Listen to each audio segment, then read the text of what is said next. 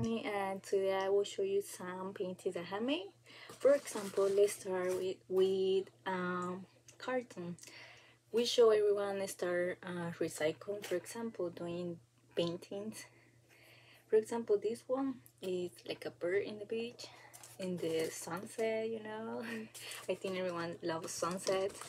And also, this is carton to recycle team recycle uh just kidding. Um i think this one i made it for my art class and i made it.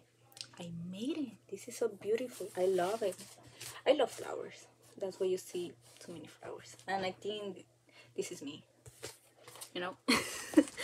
Um one from canvases this is uh, one of my favorite paintings in canvases. I think I did all my best in this one.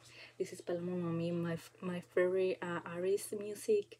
And yeah, thank you for watching this one too. Bye.